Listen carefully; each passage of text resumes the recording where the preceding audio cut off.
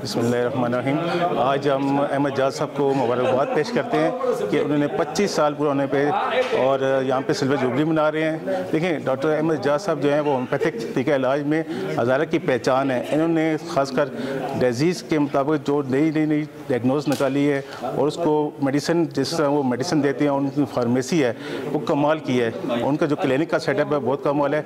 हमें इन पर फ़ख्र है, क्योंकि जितने डॉक्टर हैं, वो इन पर फ़ख्र महसूस करें कि हज़ारा में वो वाइट डॉक्टर हैं। जो एक जदीद तरीका इलाज के मुताबिक इलाज करते हैं।